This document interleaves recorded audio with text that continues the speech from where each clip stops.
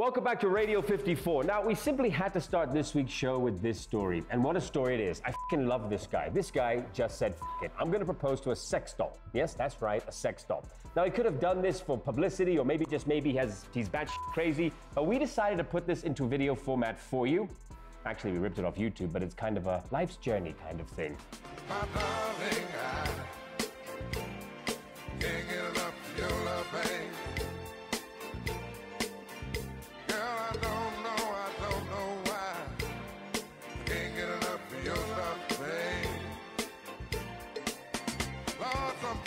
Story of love and latex. And wait, wait, wait just a minute. Is it just me, or does this non human sex doll actually look miserable in this picture? You have to be pretty sad and pathetic for a sex doll to literally frown when you touch her or try to kiss her. I mean, how bad can it be?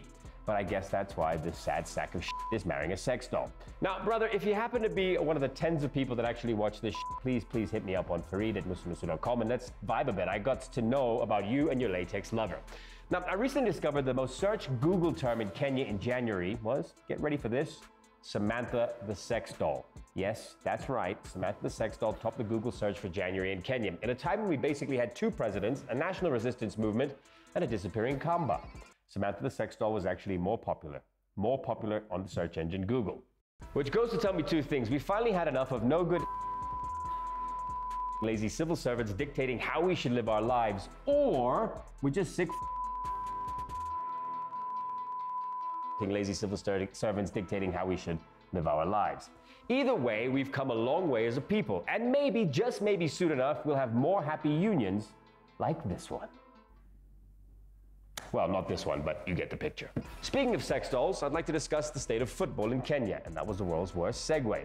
It's quite obvious that there are problems in the realm of the beautiful game here, and yes, we are shit, and the team is shit, and the coaches, with the exception of, and this is my opinion, Reinhard Fabisch and Francis Kimanzi have been shit.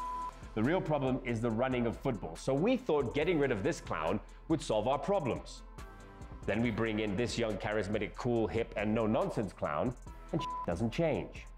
So, Paul Put became Harambe Stars coach in mid November 2018. And this is Paul Put, not this Pol Pot, who was a Cambodian murderer and ethnic cleanser. I'm talking about Paul Put. So, he became the Kenyan national football team Harambe Stars head coach three months ago. And three months after he stepped, and three months later, rather, he stepped down as the coach of the Kenyan national football team Harambe Stars. And then the Federation thanks him for his unwavering support and dedication and wishes him all the best in his future endeavors, which I love because no one ever means that, especially if you lasted three months. Have you ever gotten that letter? The one where it says, We wish you all the best in your future endeavors? Have you ever gotten one of those letters? So, you know what it actually means? It means you, you loser. It's not someone telling you that you were really good and that it was really tough to let you go. It means that you're the dumbest in the room and you'll have and you'll never have much luck with your future endeavors. That's what it means. Sorry, can we just go back to Kalonzo for a minute? I mean, how sexy is this dude?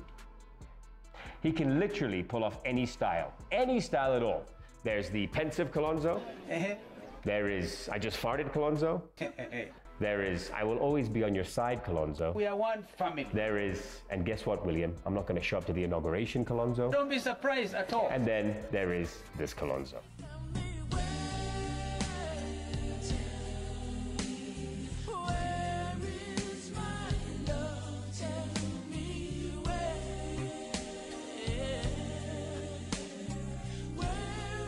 It's like playing the game Where's Waldo? We could play Where's Kalonzo? Of course, I know it's all old news and we're waiting for what his next move will be, but we have to go back and look at some of the best Kalonzo memes. I tell a man's not hot, man's not. I tell a man's not hot, never hot. The girl told me, take off your jacket. I said, babe, man's not hot, never hot. I tell a man's not hot. I tell a man's not hot, never hot. The girl told me, take off your jacket. I said, babe, man's not hot. Man can never be hot, never hot. Now, let's talk NGOs, shall we? Now, in my days on radio, I was quite vocal about how I felt about NGOs, about how all they do is sweet f- while driving nice big cars and living in the tree lined avenues of Nairobi's sexiest upmarket neighborhoods. But what is the reason they're here? To eradicate waterborne diseases, or to create a safe space for safe space for abused women, or to get the street kids off the streets and into safe places. And look, I'm not suggesting that there are no NGOs doing good things. No, not at all. What I am suggesting is that there are some NGOs and aid workers that should be taken out back and shot. Think about it. Is it in their interest to solve the problems that they came here to solve? I mean, if an NGO manages to remove street kids from the streets, then what happens to that job or those jobs? Solve one crisis and then go home. That would be a perfect world. Do they want to move back to their little lives in small town America with one car for a family of five? Or do they want to stay here in Kenya in a five bedroom mansion and drive like assholes on the road because they have a red plate, knowing that they can't be with because they have a police force dedicated to them alone? So why are they here? Well, in the UK, shockwaves from a sex abuse scandal are hitting Oxfam hard and fast. Oxfam's deputy chief has resigned after a prostitution scandal involving aid workers. Now to a story we're following. The British government could stop giving money to the aid agency Oxfam after a sex scandal in Haiti. Oh, right. It's all for the no, I'm not making light of a very serious conversation here. I am saying that the whole NGO aid worker culture needs to be relooked at, it needs to be dissected, and it needs to be reevaluated. Because you may say this is happening in Haiti so it doesn't affect us here on the dark continent, but it does. Because according to the Mail Online, aid workers traded wheat, medicine, and oil for sex with girls as young as 13 and made them pose naked for pictures in a West African scandal. Yes, that's right. Wheat and life saving medicines for sex with children in crisis zones. It has emerged. Now, we are not saying in any way that every NGO functions like this, but we are saying, according to reports, that it happens with some NGOs in some areas. What kind of despicable human being would take advantage of a situation where people are starving, in need of aid and support, and say, Yeah, I can help, but there's something I need from you? This kind of despicable human being. Let me read you the Oxfam purpose statement. This is on their website, and I would have probably removed it if I were Oxfam at this point in world history. It reads, and I quote, our purpose is to help create lasting solutions to the injustice of poverty. We are part of a global movement for change, empowering people to create a future that is secure, just, and free from poverty. Hey, Oxfam, go f yourself. And if you're an aid worker or NGO with an earshot of me and you've been involved in some bullshit like this, close to it, or even thought about it, the world is now watching, and so are we at Radio 54. Have a great week ahead. Mariam is up next, and boycott Oxfam. Thank you very much, Fareed. Most of our viewers will be glad to know that sex doll proposals aren't the only exciting thing that's been happening. A certain bug seems to be traveling across the continent. First, it came for good old Uncle Bob, and we said, you know what? Bob's older than the civil rights movement. His immunity just isn't what it used to be and we forgot about that. Then the bug came for Jay Z, full time rapper and dancer, and sometimes acting president of South Africa. If we're being honest, this was long overdue. But who knew the ANC would have the balls to ask Jacob Zuma to vacate his office? Jay Z's reaction, however, is the interesting part. At first, former President Zuma refused to resign until the ANC told him exactly what he did wrong. Well, just in case you forgot, we put together a little video of things Jay Z has done over the years that may have sent South Africans over the edge. A showreel of sorts. Let's have a look.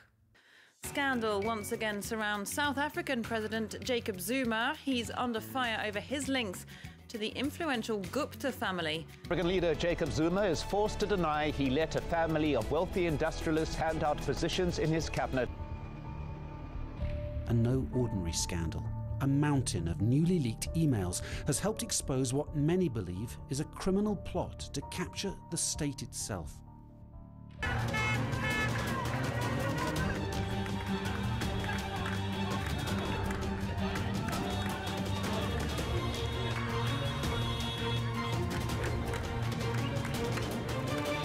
After speaking to the workers, uh, it became very clear that they had a very different narrative. It's the house that cost the South African state over $20 million, and it could cost President Zuma millions of votes in the country's upcoming election. Equally interesting was the reaction of many South Africans to the resignation. Have a look at this poor reporter who was just trying to get comments from random folks and couldn't find anyone to talk about Zuma without using expletives. He must just go. He's just a. Well, gee whiz, that's uh, quite strong language uh, for live television. Guys, any thoughts on President Jacob Zuma's resignation? F him. All right, well, well, um, We'll have to leave it at that for the moment, uh, Kathy. If you thought the resignation bug was done with its continental travels, you thought wrong. East Africa had to get some love too. Ethiopia's Prime Minister Haile Mariam Desalegn resigned barely 24 hours after Jacob Zuma. While South Africa has got a new president, Ethiopia has lost its Prime Minister. Appearing on state TV at noon local time, Hailemariam Desalegn has confirmed he has submitted a letter of resignation to leave his post as the chair of the ruling EPRDF party and prime minister of the Federal Democratic Republic of Ethiopia. In a televised address, Hailemariam Desalegn said his resignation was vital for achieving the changes necessary for sustainable peace and democracy in Ethiopia. He resigned in a bid to, and I quote, end years of political upheaval and unrest. Now, I know you're thinking, what years of political upheaval and unrest? I never hear a peep coming out of Ethiopia. But that's because Ethiopia is an extremely closed off country with limited freedom of speech and access to information, and even less media freedom. However, what the country does excel at is great PR. That's why all you ever see about Ethiopia is a picture of the lovely clean Addis next to the steaming hot pile of garbage that is Nairobi, or a picture of their shiny electric train next to our diesel run fossil. In reality, hundreds of people have died in anti government protests that began in 2015 in a bid to tame state corruption. In fact, last year, the country spent 10 months in a state of emergency. Yes, 10 months, and most of the rest of the world didn't have a clue. The question for Ethiopia now is what next? Will the Soviet style rule and crackdown on dissent continue, or will reform be the new agenda for the gorgeous country that, despite the circumstances, is experiencing phenomenal economic growth? We wait and see. So, as it stands, Kenya has two presidents, Ethiopia has none, and the biggest conundrum of all is which African leader will Trevor Noah make fun of now? Jacob Zuma, unlike the rest of us, doesn't conform. He doesn't conform to the norms, you know? Doesn't conform to the laws of grammar and punctuation as we mere mortals. No. No. Not our president. Comma, for who? For you, maybe, not me.